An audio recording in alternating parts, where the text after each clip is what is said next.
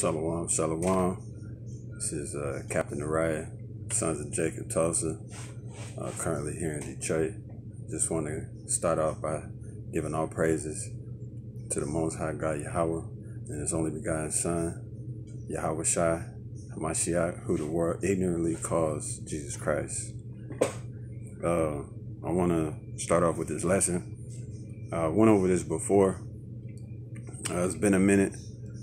Um, basically, want to talk about uh, the position that that Israel is in. A lot, a lot. Um, you know, a lot of brothers are ta- tail bearing, uh, bearing false witness, speaking evil of one another, which is actually against the commandment that we're commanded to keep. Right. So, uh, first scripture I want to start off with James chapter four. So let's go to James chapter 4. Uh,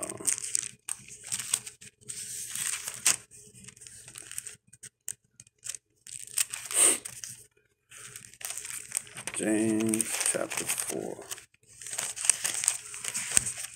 Come on man.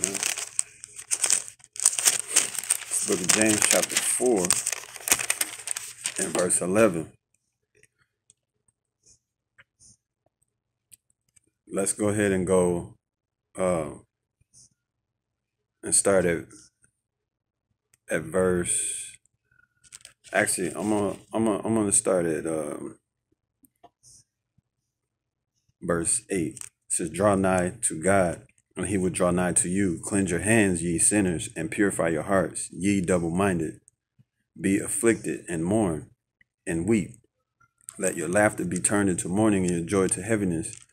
Humble yourselves in the sight of the Lord, and he shall lift you up. Speak not evil. This is what I wanted to get at, verse 11. Speak not evil one of another, brethren.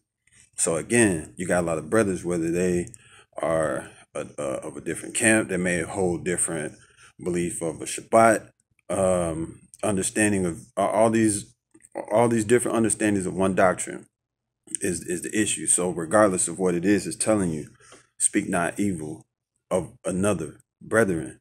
He that speaketh evil of his brother and judges his brother speaketh evil of the law, right? And judges the law. But if thou judge the law, thou art not a doer of the law, but a judge. So you got to be careful with um with um the way you speak and uphold the law. Uh, I'm going to start going verse 12. There's one lawgiver who is able to save and to destroy. Who art thou that judgest another? So the thing is, is that a lot of times is um you have brothers that may go tit for tat over the law, whether it be circumcision of the flesh. But you know what I'm saying? Certain brothers will demonize or ostracize or alienate certain brothers because of um certain things of that point when the circumcision is that of the heart. So a lot of times I think a lot of, you know, a lot of brothers, what they end up doing is they'll be like, you know, slingshotting stones at their brothers and you're basically, you're basically a, not a doer of the law, but a judge, because that's one of the two greatest commandments, which I'll get into that eventually as well. Um, a lot of things, man, even with the sisters, man, um, you know, about them uh, being uh, uh, the physical head covering, which I mean, those are also other um, meaty.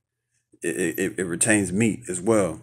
There's milk a milk portion aspect to all these understandings from head coverings to Shabbats and feast days and you know the law, which part of the law is done, which ones do we keep, what covenants we're in. There's milk to all of it, but there's a lot of meat to it that goes behind it as well.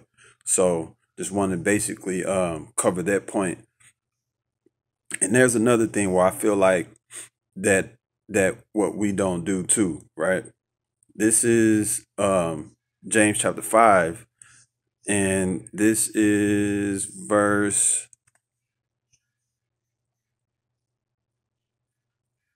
Sixteen. Okay. It says, Confess your faults one to another and pray for pray one for another that ye may be healed. The effectual fervent prayer of a righteous man availeth much. So it's good that you have righteous men and women that are praying. It's good to have these type of people, right? Because those are the people that you want to be uh to be praying for you, right? Um and the reason why we want to confess our faults is because it's it's a cleansing. It's a it's it's it's it's, it's a form of atoning. Um it's humility. Being humble. A lot of a lot of a lot of brothers are not humble. Simply because you tell them you're Israelite, you go in the corner, you stand shalom, you know this and that, and you you talking hard and you roaring like a lion, this and that. But brothers are not confessing their faults one another. And faults don't just mean, oh, I wronged my brother. Yes, that is a part of it, but there's hidden sins. Because again, if you stay in James chapter 5, and if you go to um I'll just continue to read on down. After I read 16, going to James 5 and 17, it says, Elias was a man subject to like passions as we are, right? Just like every man, subject to fall, lusts, mental anguish, whatever it may be, spiritual discernment or misguidance or even finding the right path, as we are, the same like passions, right? And he prayed earnestly that it might not rain. And it rained not on the earth by the space of three years and six months. So three and a half years it didn't rain because uh Elias was uh he was he he prayed, he was a passion, he was a passionate man and he was earnest in his prayer, right? Verse 18 it says, And he prayed again, and the heaven gave rain, and the earth brought forth her fruit. Right? Brethren, if thou slack it, brethren, if any of you do err from the truth, and one convert him. Brethren, if any of you do err from the truth and one convert him, let him know that he which converteth the sinner from the error of his way shall save a soul from death and shall hide a multitude of sins. So basically, it's like when the scripture talks about your sins being remembered no more, that the Mashiach won't even remember your sins. You see what I mean? This is the same situation. So this is why it's important for us to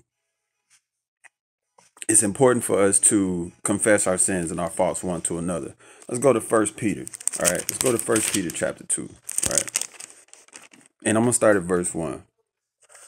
It says, because again, again, what we're doing is we're dealing with brethren that understand who they are. Even even for our brethren that, that don't realize that they're the people of the book. Even the ones that still in a Gentile state of mind. You see what I mean? Uh, this is uh, 1 Peter chapter 2, verse 1. It says, Wherefore, laying aside all malice and all guile and hypocrisies and envies and all evil speakings, as newborn babes desire the sincere milk of the word, that ye may grow thereby. If so be ye have tasted that Lord, the Lord is gracious. Okay. So again, what we're doing here is we don't want to be hypocrites. Because then if we go out and we tell somebody, hey man, you can't um slack it. We don't want to be a hypocrite telling people, you know, keep the law, do this, uh, you got to keep this law and keep the commandments, and this is your righteousness, all this stuff, right? So if we tell them, we telling people on the streets that we don't even know, we telling people on the streets that we don't even know you know, come back, come back to the Most High's laws and His commandments. We're telling people we don't know this, but then our brother that that we know that may have an issue with punctuality or may just have an issue with um or or may just have an issue with um anything instead of instead of dealing with this brother a lot of times is we we alienate brothers and that very same brother could go off and then guess who's going to be held responsible for it? Us. We're, we will be the ones held responsible for that. So that's why we got to make sure that we're not being hypocrites. Make sure that we're getting this the, the the beam out of our eye before we tell a brother about a little prick, a little prickly stick in his eye, and you got a whole log in your eye, right? So this is the whole thing about not being hypocrites, right? So we're gonna go to First Peter, uh, stay in First Peter, and we're gonna go to chapter two, and we're gonna start at verse nine. Everybody already know, right? Everybody already know because this is exactly what who we are, and we have to understand exactly who we are and, and actually live it instead of just talking and saying, Shalom, you know, we the Israelite, we, we, we have to live this, right? It says, But ye are a chosen generation, a, pro, a royal priesthood, a holy nation, a peculiar people, that ye should show forth the praises of him who hath called you out of darkness into his marvelous light. So like which in times past were not a people, but are now the people of God, which had not obtained mercy, but now have obtained mercy. Dearly beloved, I beseech you, as strangers and pilgrims, abstain from fleshly lusts which war against the soul. Now, this is the biggest problem that Israel has because I talk to brothers all the time from from Oklahoma, from just like living there and being here in Detroit a lot of brothers are having the same fleshly problems in the spirit that a, a lot of brothers I feel like me included because I I I, I used to struggle with this. Dwight Yahweh that I don't have this even the mind to even go and follow after that. Not saying that things don't enter my mind, but I have to cast them out. The thing is, is I don't act on none of it like the way I used to. And this is the encouragement that we have to be for other brothers too, right? So again, it says, um, having verse 12, First Peter 2 and 12, 2 and 11.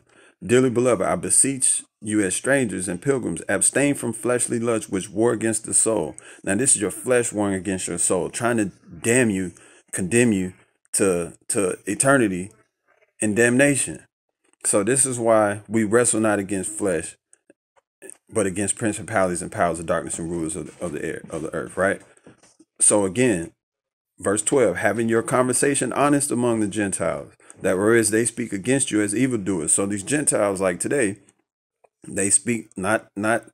I mean, you you have some Gentiles that are natural born Israelite that are Israelites that are Gentiles. Then you have other nation Gentiles. The same thing what they're doing is they're speaking speaking to against us as evildoers. This is why we have to abstain from these things. This is why we have to purge ourselves from that old man, right? They may by your good works, which shall behold, glorify God in the days of visitation. So the Gentiles that speak against us, this is why we got to do these good works. Because we're supposed to be the light to the Gentile. That's what that's the whole point, right?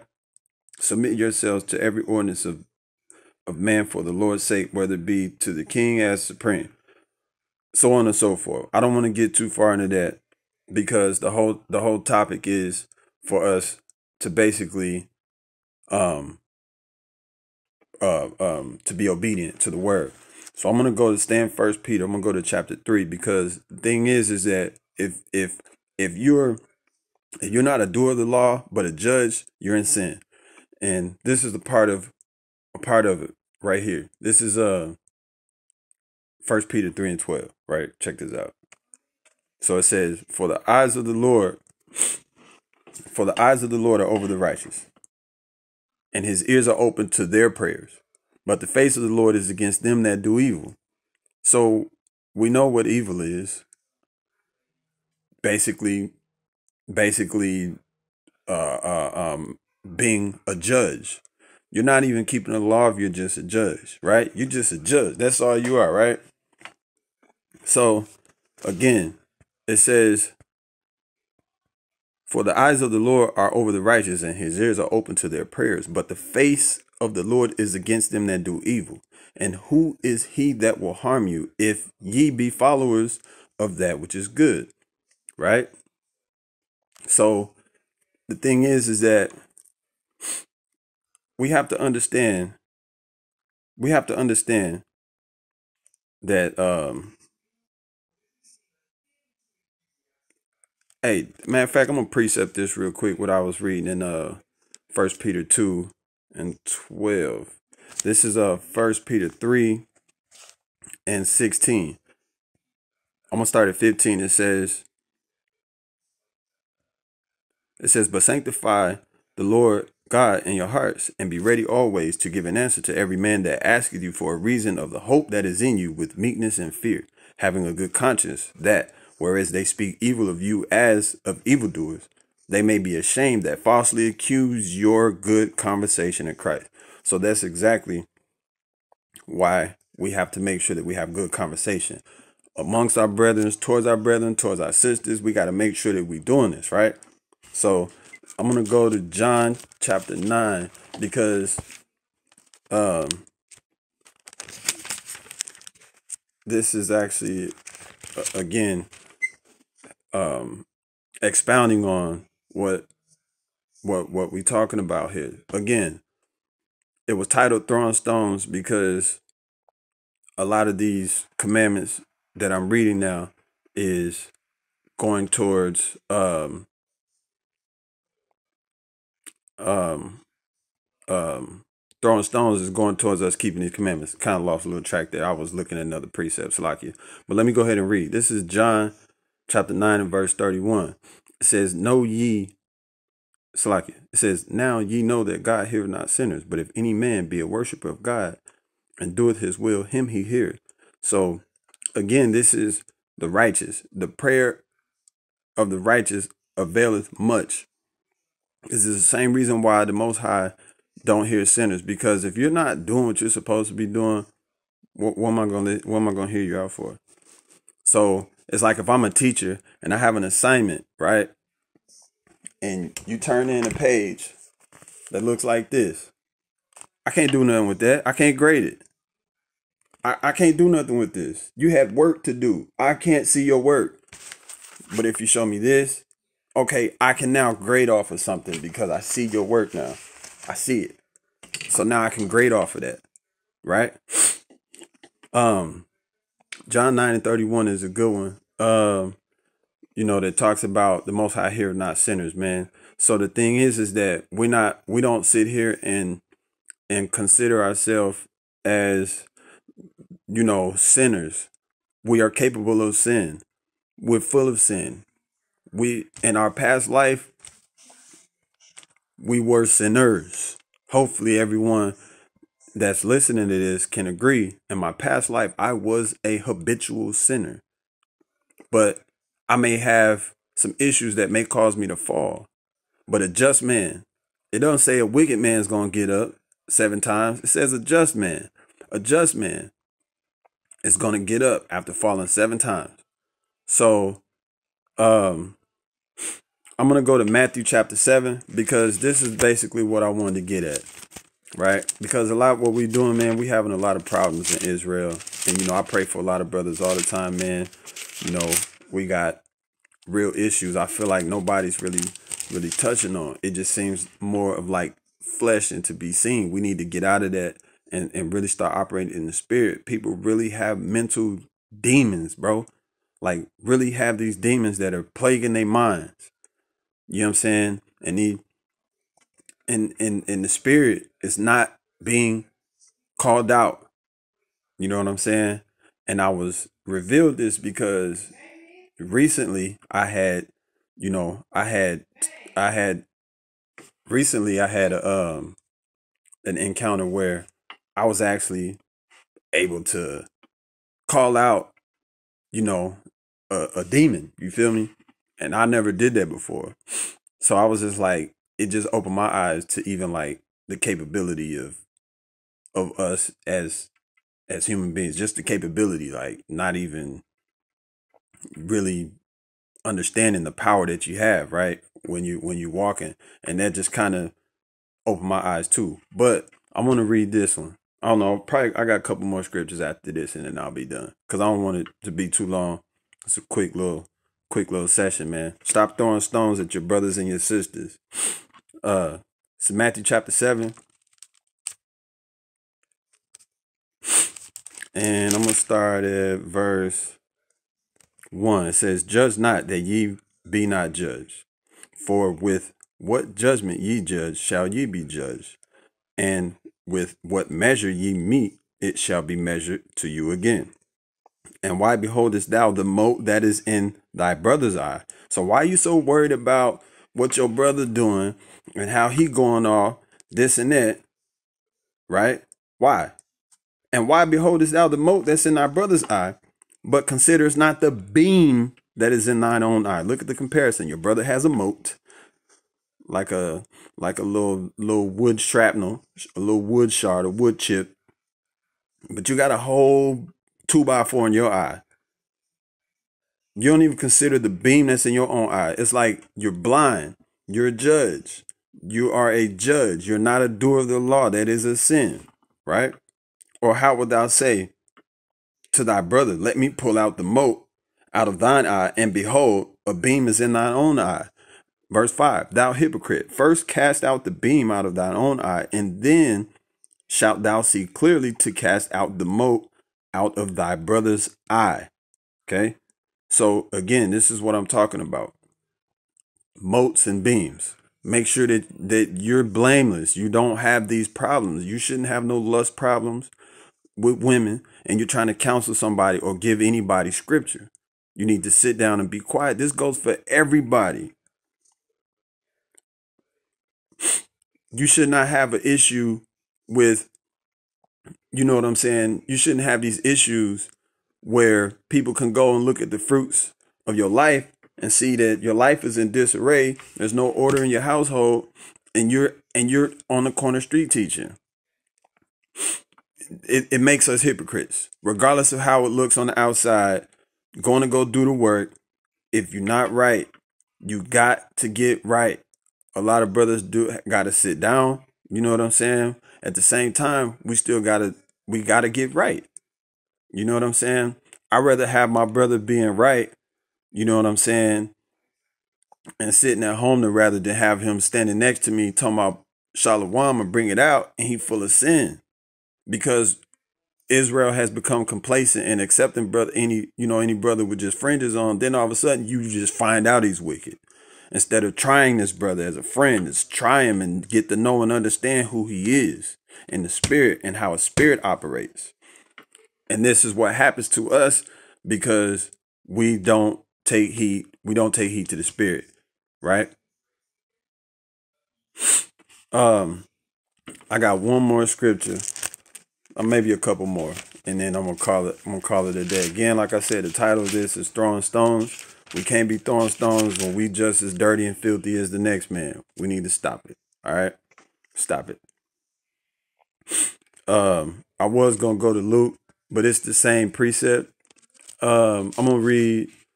I'm gonna, I'm gonna go to. Let me go to Matthew six. I'm gonna go to Matthew six. I was gonna go to Proverbs 11, but I'll go to Matthew six right real quick. Okay. So it says here, Matthew six, and I'm gonna end it on this one. Matthew chapter 6. It says, it says, verse 1. It says, Take take heed. It's like it. says, Take heed that ye do not your alms before men to be seen of them. Otherwise ye have no reward of your father which is in heaven. So be careful when you're out there and you're doing it to be seen. If the spirit is not operating, it's all flesh. You're doing it just to be seen. All right. Therefore, when thou dost thine alms, do not sound the trumpet before thee, as the hypocrites do in the synagogues and in the streets, that they may have the glory of men. Verily I say unto you, they have their reward. Right? You ain't storing nothing in heaven, right? But when thou doest alms, let not thy left hand know what thy right hand doeth. Thine alms may be in secret, that thine alms may be in secret, and thy father which seeth in secret himself shall reward thee openly. And when thou prayest, thou shalt not be as the hypocrites are, for they love to pray standing in the synagogues and in the corner of the streets, that they may be seen of men. Verily I say unto you, they have their reward. Okay? So, no, it's not about going out. It's not just about going out to the streets. Clearly, Matthew 6 and 7, 6 and 5 is telling you that. Be careful of that to be seen. Right? not saying don't go do the work, but I'm saying is just make sure that you got beams and motes out of your eye before you go and try to wake other people up about who they are. And that's still again about casting stones, throwing stones at each other. It's the same thing whether they have the, whether they say they're Israelites or not. Our job is to still be that light, right? So I'm gonna keep reading. But thou, when thou prayest, enter into thy closet, and when thou hast shut thy door, pray to the Father which is in secret, and thy Father which seeth in secret shall reward thee openly, right? And this is where you have to go and try yourself through the fire. If you're doing what is by the command, what is telling you to confess your faults one another, brother lifting up brother. Now I can go to my brother and and and either ask for some help, some spiritual prayer and guidance, or now I can I can I can show him some things in his walk that he may need to polish up perhaps remove a mote out of his eye. Or you got a brother that has a serious problem. He has a whole beam in his eye. So now I can do that, right? Now it says, verse 7, Matthew 6 and verse 7, but when ye pray, when ye pray, use not vain repetitions as the heathen do, for they think they shall be heard of their much speaking. A lot of talking, a lot of speaking, a lot of blah, blah, blah, but nobody understands what you're saying. That's just like in First Corinthians where it talks about uh, where it talks about praying in tongues. You're just doing a lot of da, da, da, da, da, don't nobody understand what you're saying, right? So in verse 8, be not ye therefore like unto them, for your father knoweth what things ye have need of before ye ask him. And I'm gonna end it with this. Verse 9. After this manner, therefore pray ye, our Father, which art in heaven, hallowed be thy name, thy kingdom come, thy will be done, in earth as it is in heaven. Give us this day our daily bread and forgive us our debts as we forgive our debtors. And lead us not into temptation, but deliver us from evil. For thine is the kingdom and the power and the glory forever. Amen. So, and it says, uh, for if you forgive men their trespasses, so like for if you give men their trespasses, your heavenly Father will also forgive you. But if ye forgive not men their trespasses, neither will your Father forgive your trespasses. So I just wanted to bring that out, man. I got plenty more scriptures on that, man. I might do a part two on throwing stones, man. Um, it's it's a lot in here. I just want to go over real quick. Didn't want to, you know, be too much. Um, I just with that, man. I just want to say shalom to the twelve tribes scattered abroad, and um, I want to just tell y'all, I love y'all, man. Shalom. Keep the faith, keep that spirit, keep your spirit strengthened, and um, keep pushing this truth, man. You know, I'm up here in cold Michigan right now. It's getting getting getting colder than what I'm used to in Oklahoma. But it's all good, man. We're gonna keep pushing this truth. And uh just wanna say shalom again, man. Um we'll see y'all soon, hopefully, man. And uh wanna say uh call out Yahweh by Shema Mashak Yahweh Shai. And shalom to the twelve tribes scattered abroad. Shalom.